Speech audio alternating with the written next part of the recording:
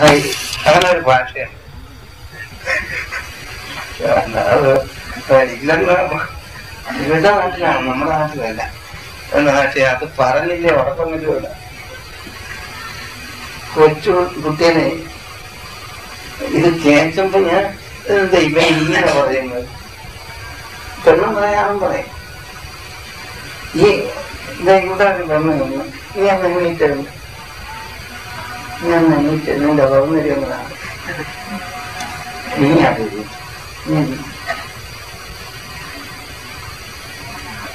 നീ പറയില്ല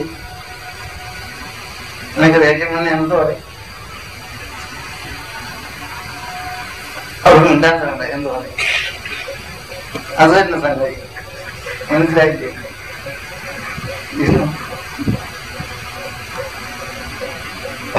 അവളൊരു ഒരു- ഒരു ഭംഗി വാക്ക് പറയും അത് ആ പാട്ട് കേട്ടെന്ന് തമാശ തോന്നി. ഇതെന്തൊരു എന്തെന്നാണ് ഈ പറയുന്നത് പക്ഷെ അവിടെ അതൊരു പുതുമയല്ല. ആണോ? ഇവിടെ അതൊരു പുതുമയാണ്. അങ്ങനെയുള്ളൊരു ഭാഷയുണ്ട് അവിടെ. അപ്പൊ ഇത് കേട്ട ഞാൻ ആദ്യം കേട്ടപ്പോഴേക്കാ ഒന്നും അറിഞ്ഞൂടെ. എനിക്ക് എന്തൊന്നും കുഴപ്പം എന്നാണ് വിചാരിച്ചത്. പക്ഷെ പിന്നെ വന്നു മനസ്സിലായി. അപ്പൊ അങ്ങനെ ഒരു ഭാഷയുണ്ട്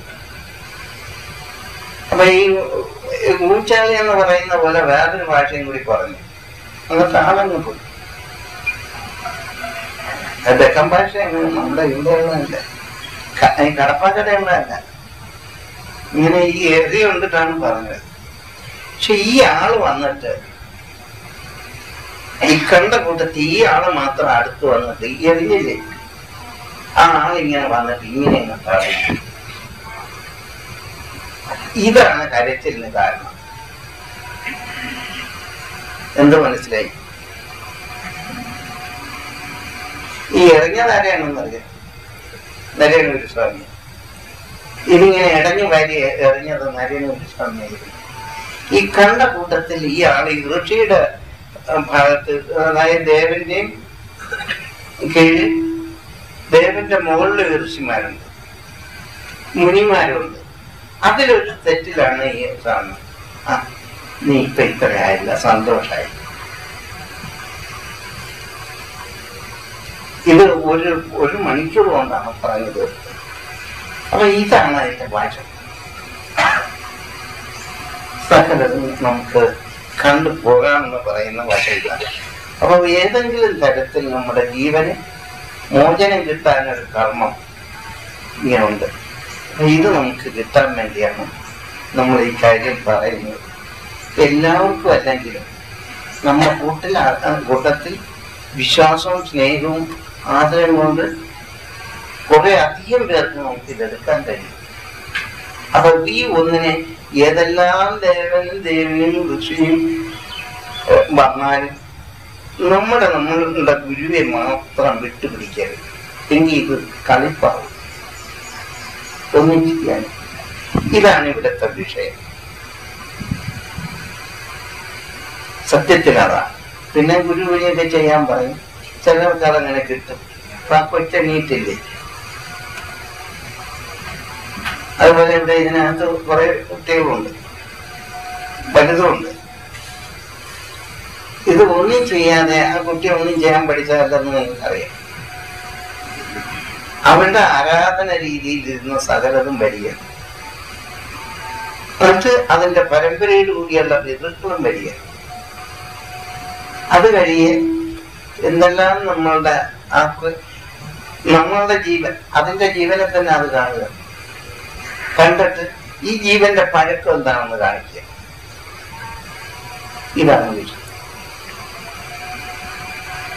അപ്പൊ ഇതിങ്ങനെ മനസ്സിലാക്കുന്ന ഒരു രീതിയാണ് ഇവിടെ ഉള്ളത്. അപ്പൊ ആണോ പെണ്ണോ ചെറുതോ വലുതോ എന്നൊന്നും പറയണ്ട.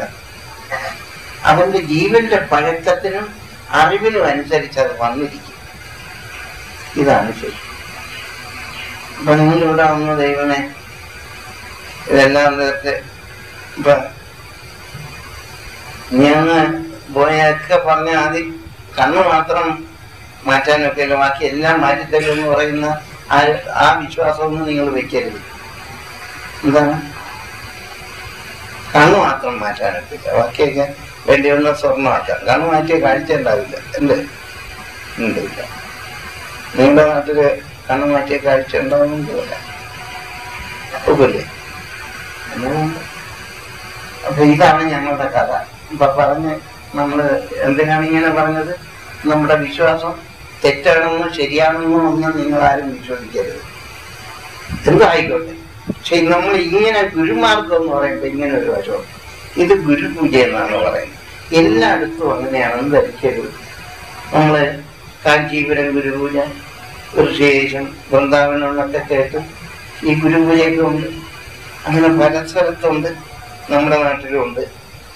ഇവിടെ ഇങ്ങനെ പല ഗുരുപൂജ നടക്കുന്നു. പക്ഷെ ആ അതല്ല.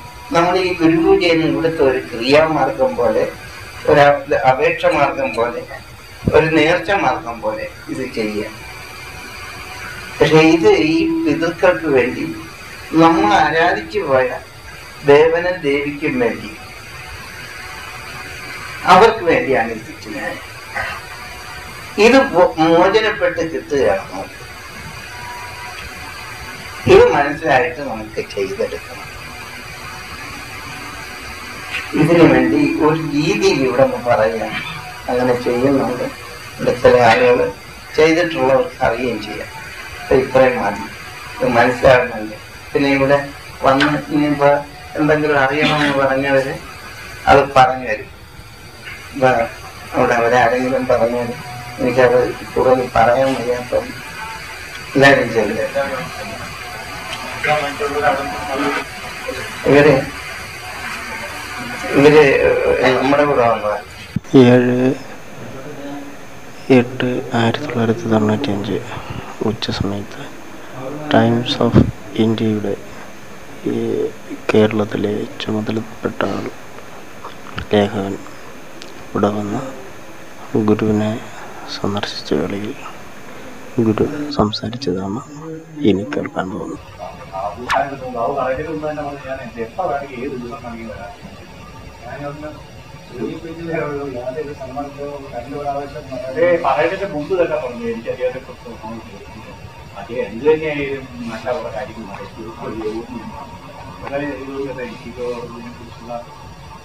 രീതിയിലൊക്കെയാണ് തത്വശാസ്ത്രമാണ് ഞാൻ എം എക്ക് പഠിച്ചതെങ്കിൽ പോലും എനിക്ക് ഇതിനെ സംബന്ധിച്ചുള്ള അറിവും ജ്ഞാനവും ഒക്കെ വളരെ പരിമിതം.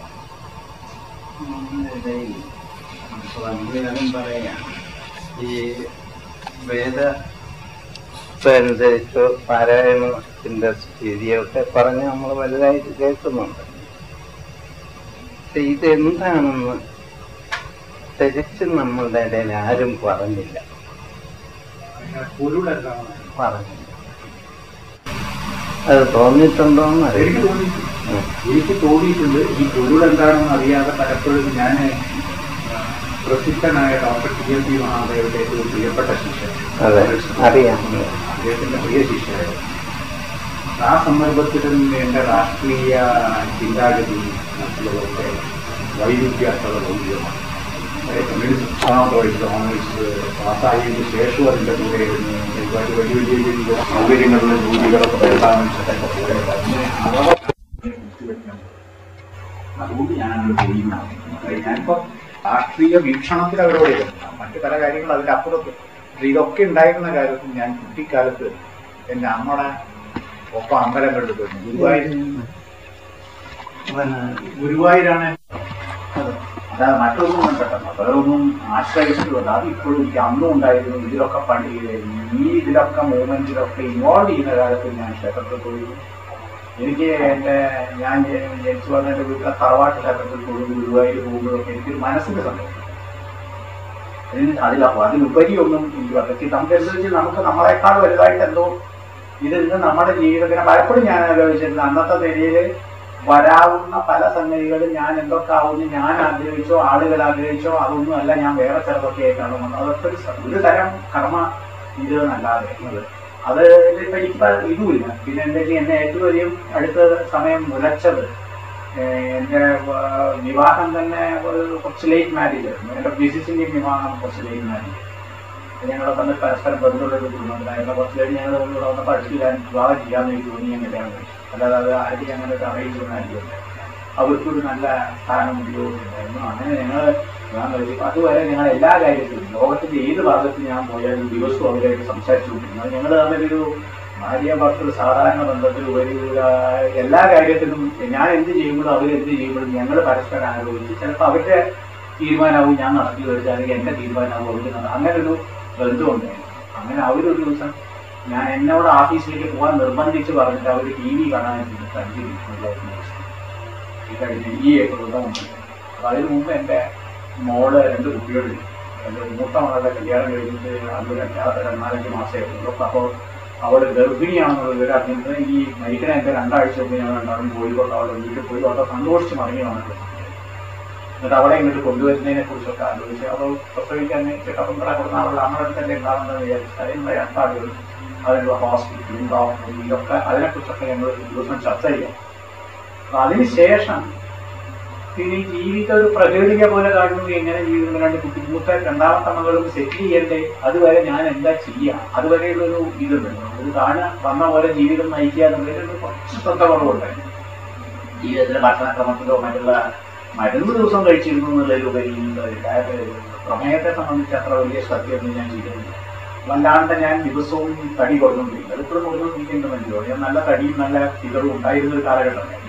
അതിപ്പോഴും ഇങ്ങനെ കുറേ കാലമായിട്ട് ഇങ്ങനെ ഒരു കുറേശ്ശെ കുറേശ്ശെ കുറയുന്നുണ്ട് തടി ഇപ്പോഴും എനിക്ക് തോന്നുന്നു അങ്ങനെ കുറേശ്ശെ കുറയുന്നത് ഭക്ഷണം കുറച്ചോട്ടോ എന്തോ ഒരു ജലവങ്ങളും അപ്പൊ അങ്ങനെ ഇതായിരുന്നു ഇപ്പൊ ആകെ ഇപ്പൊ ഒരു ഇതുള്ളത് ഒരു നേരി ആശയുള്ളത് മോട്ട കഴിയും അവിടെ കുറിച്ച് ഒരുമാതിരി തിരക്കിടില്ലാതെ യൂണിവേഴ്സിറ്റിയിൽ ഒന്നാമതൊക്കെ ആയിട്ട് പാസ്സാവുന്നുണ്ട് അവിടെ എല്ലാവരും കോമ്പിറ്റേഷൻ നല്ല ജോലിയുണ്ട്. എനിക്ക് പിടിക്കാൻ സ്റ്റേറ്റ് ഇൻസ്റ്റിറ്റ്യൂട്ട് ഓഫ് എൻസൈക്ലോപീഡിയ എന്ന് പറഞ്ഞ സർവവിജ്ഞാന കോശം ഗവൺമെന്റിന്റെ സ്ഥാപനത്തിൽ അവിടെ ടെസ്റ്റ് എഴുതി പി എച്ച് ഡിക്കാരൊക്കെ വന്നിട്ട് അവിടെ പി എച്ച് ഡി ആ സബ്ജക്റ്റിൽ പാസ്സായ ആളുകളുണ്ടായിരുന്നു അവൾക്ക് എന്തോ ഭാഗ്യത്തിന് കിട്ടി. അവളിപ്പോൾ അവിടെ ജോലി ചെയ്യുന്നുണ്ട്. അപ്പൊ അവളും ഞാനും മാത്രമായിട്ട് രാവിലെ അവൾ പോകും രാവിലെ ഒരു ഒമ്പത് മണി വരെ ഞങ്ങളെ പഴയ ഞങ്ങളായിട്ട് കുറച്ച് അടുപ്പുണ്ടായിരുന്ന സർവന്റ് ഒരു സർവന്റുണ്ട് അതിന് വേറെ ശമ്പളമുണ്ട്. അതിന് വേറെ ജോലിയൊക്കെ ഉണ്ട്. അത് വന്നിട്ട് എല്ലാം ചെയ്തു വെച്ചിട്ട് ഒമ്പത് ഒമ്പര ആകുമ്പോൾ പോകും അത് അങ്ങനെയായിട്ട് ഞങ്ങൾക്ക് ജീവിക്കുന്നതല്ലാതെ വീട്ടിൽ അത്യാവശ്യം വല്ല മറ്റു പല കാര്യങ്ങളൊക്കെ സൗകര്യമുണ്ട്. ഉണ്ട് അങ്ങനെ ഓരോ ഇതുമായിട്ട് ഞാൻ ജീവിതത്തിൽ പല പ്രശ്നങ്ങളും ഉണ്ടാകുമ്പോൾ നേരിട്ട് ഞാൻ ചെയ്യാതാക്കിയിട്ട് മരിക്കും മരിക്കുന്നതിന് മുമ്പ് ശരിയാക്കി കൊടുത്തിട്ട് കുട്ടികൾക്കൊരു കുട്ടികൾക്ക് പ്രോപ്പർ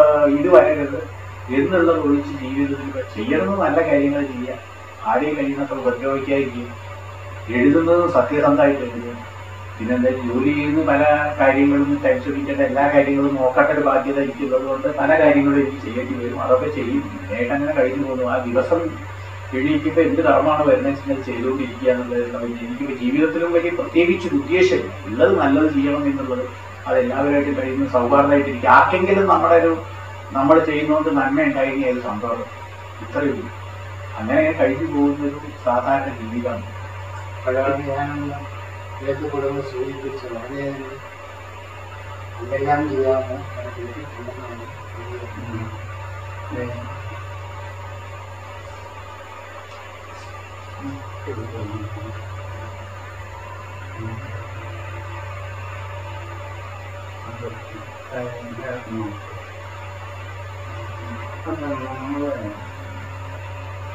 ത്രിമൂർത്തി സമ്പ്രദായത്തിൽ ആണ് അധികം നമ്മുടെ ത്രിമൂർത്തി സമ്പ്രദായം എന്ന് പറയുമ്പോൾ നമ്മളെ സംബന്ധിച്ച് ആദ്യം ഒരു ചരിത്രം പറയുന്നു. അത് എനിക്ക് ഇഷ്ടമാണ് കസേര സ്കൂളൊന്നും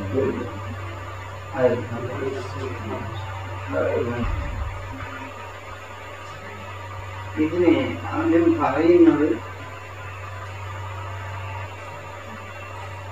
കസേരയിലെ എന്നും രംഗമാണ്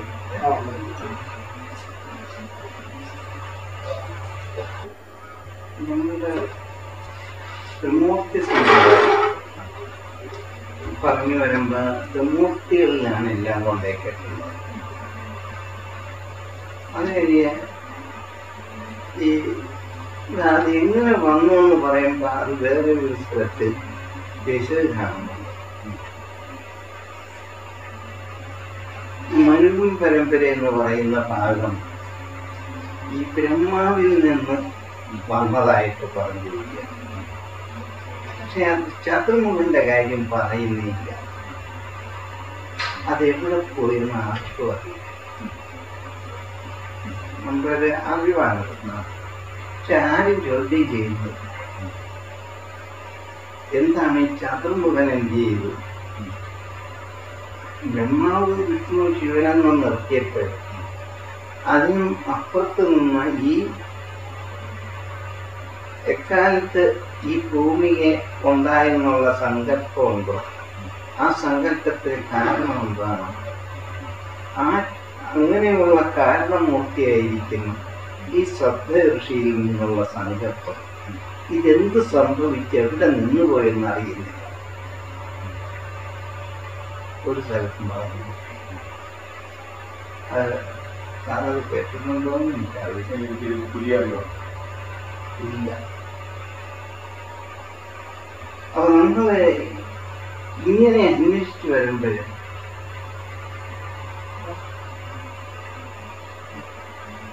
നമ്മെ സംബന്ധിച്ച് നമുക്ക് ഒന്നും ചെയ്യാൻ വയ്യാത്ത ഒരു രീതിയായിട്ട് വരുന്നു.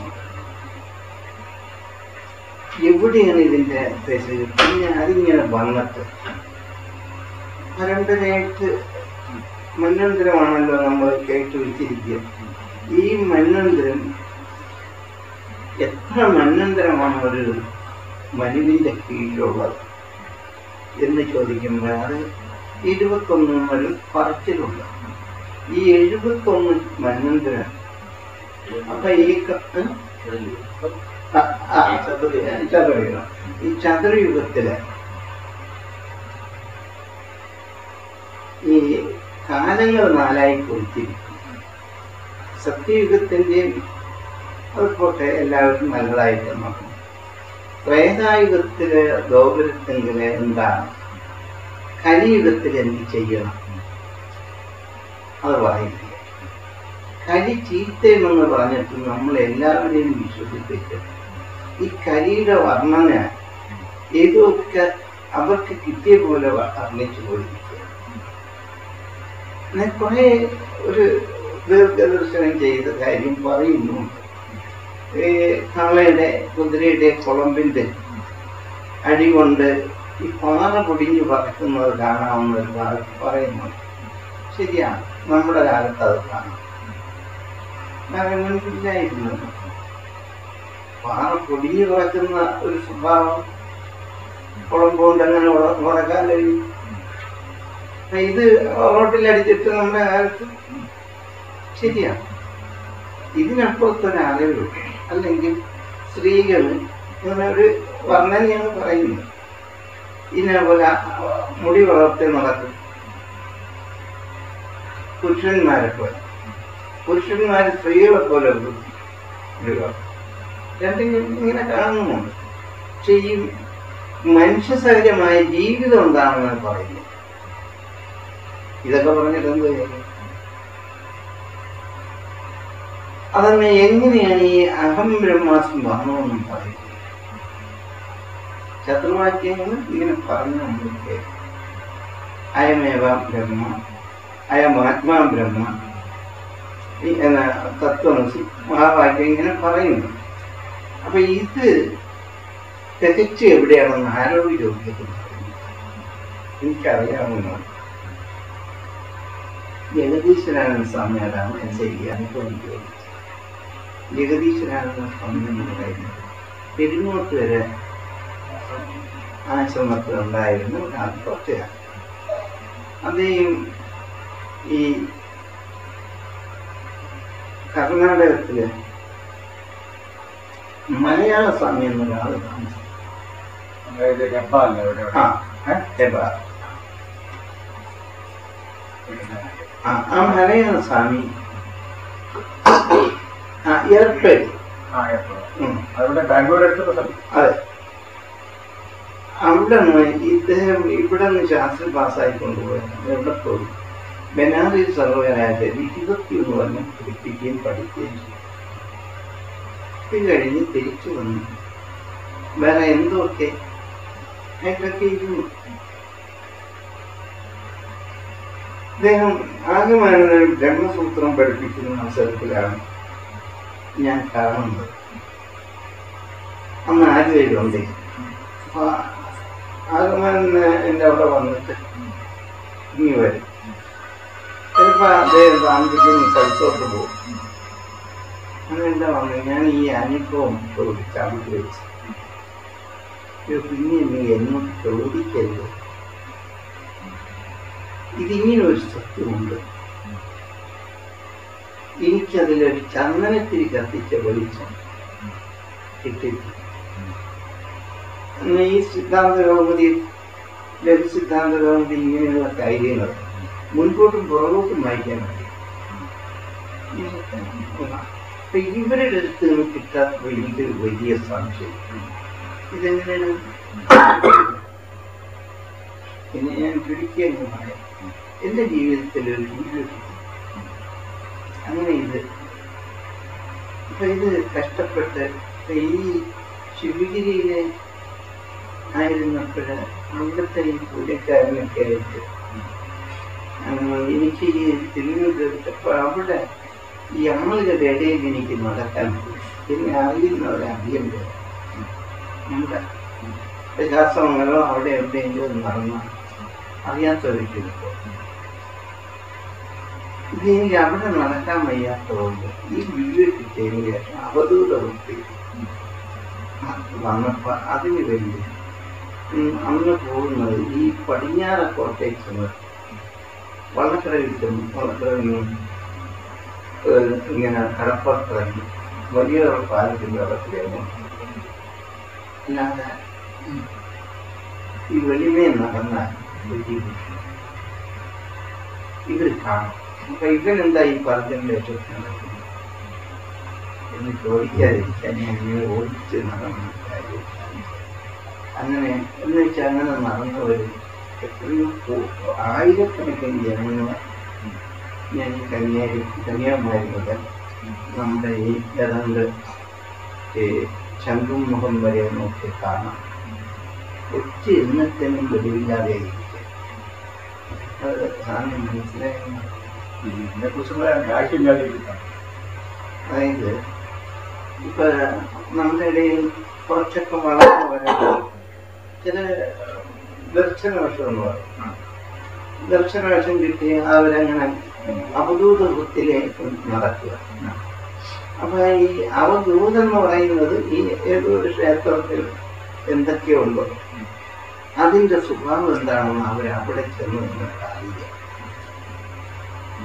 ഇത് അറിഞ്ഞിട്ട് വീണ്ടും പോവുക അപ്പൊ ഇത് ഇങ്ങനെ പോയിപ്പോയി ഇവർക്ക് വിരിച്ചെടുത്തോളം കിട്ടുക കിട്ടിക്കഴിയുമ്പോൾ ഇവർ വലിയ ആളായിരുന്നു ഇവർ തനിയെന്ന് തോന്നും. പിന്നെ വേറൊരു കൂട്ടർ ഈ യോഗത്തിൽ ഈ മരുന്ന് രക്തസേവ എന്ന് പറഞ്ഞ സമ്പ്രദായത്തിൽ ശരീരം സൂക്ഷിച്ച് യമ നിയമപ്രകാരം പോയിട്ട് ഈ പച്ചല വരെ വിഷം കലർത്തി കഴിച്ചു കഴിച്ചു കഴിച്ചു ഇത് കാഞ്ഞിരക്കൊരു ഒരു ഒരെണ്ണം വിഴിഞ്ഞത്തക്ക വിധത്തിൽ ശുദ്ധി ചെയ്ത് വെച്ചു ഒരു അറുപത്തിനാലായിട്ട് ശുദ്ധി ചെയ്തിട്ട് അറുപത്തിനാലായിട്ട് കഷ്ണിച്ച് ഒരു കഷ്ണം വിഴുങ്ങി. അങ്ങനെ അതിന് ആഹാരവും രീതിയൊക്കെ ചെയ്തു.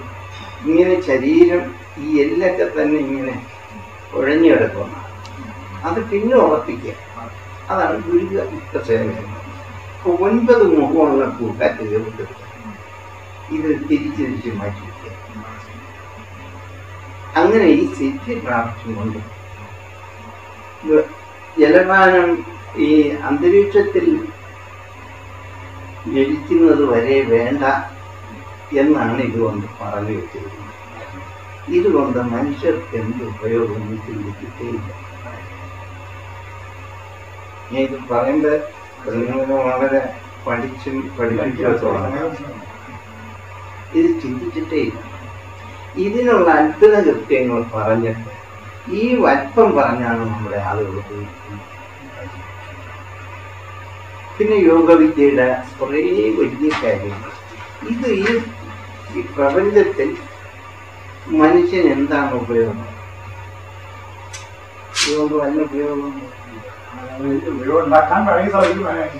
അല്ല അത് അത്ഭുതങ്ങളല്ലേ? ഉപയോഗമുണ്ട് ഗവനമണി സമ്പനമണി അങ്ങനെ പറയുന്ന ഒൻപതരം തരം മണികളാണ് ഈ മണി രസം മണിയാക്കി സൂക്ഷിക്കുക. ഇത് വിഴുങ്ങി കഴിഞ്ഞാൽ എന്തായിരിക്കും? അപ്പൊ ഈ ബീജം മണിയാക്കി സൂക്ഷിക്കുക എന്നുള്ളതാണ് ഇവന്റെ ആഗ്രഹം. ഇത് ദൈവം പറഞ്ഞിട്ടുള്ളതാണോ ചോദിച്ചത്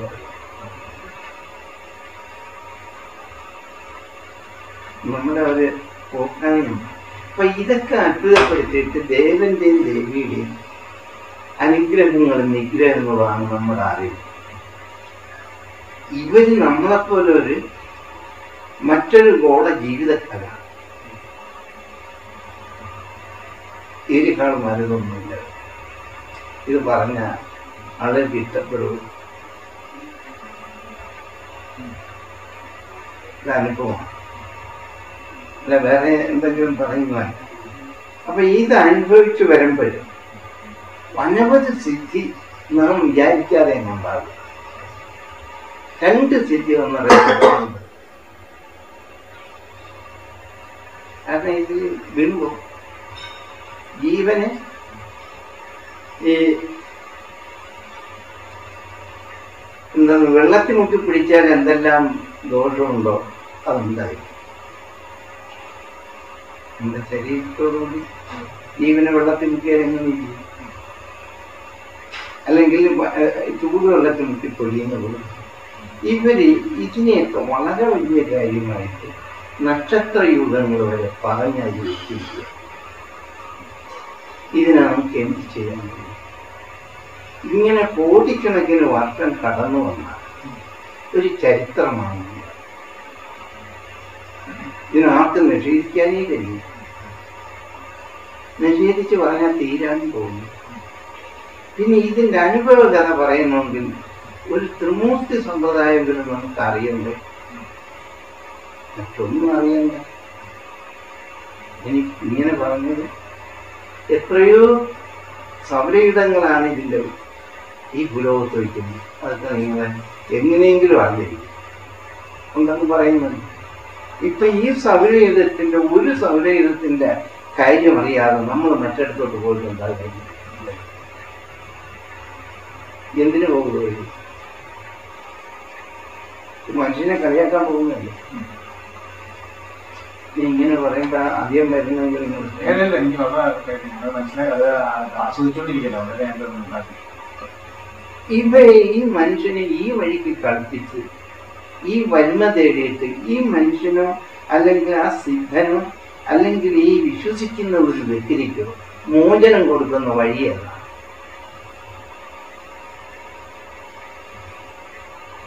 സിദ്ധിയാണ് കാണിച്ച?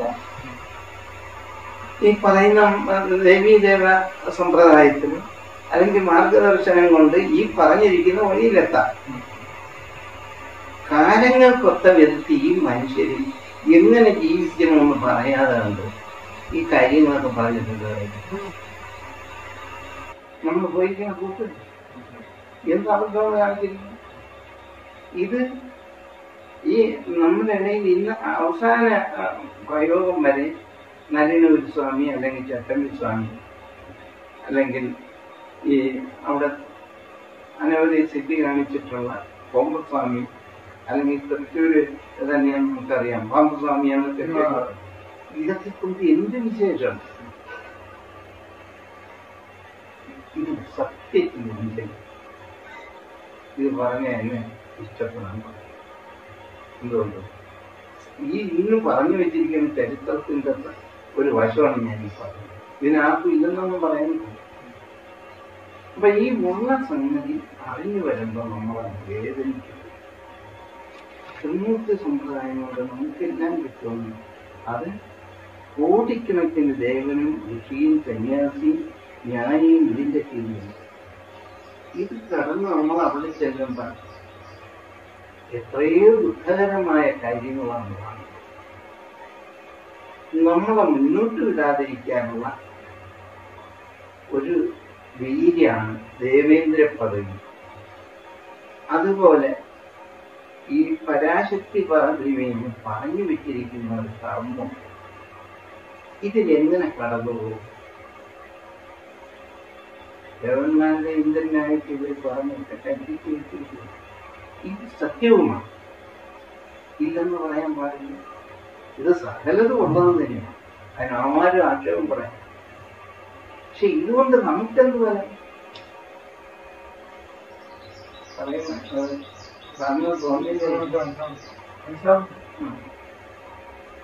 നമുക്ക് ഇതുകൊണ്ടൊന്നും ഒരു ഫലമില്ല. ഇവർ ഫാർമേഴ്സിനാണ് ഈ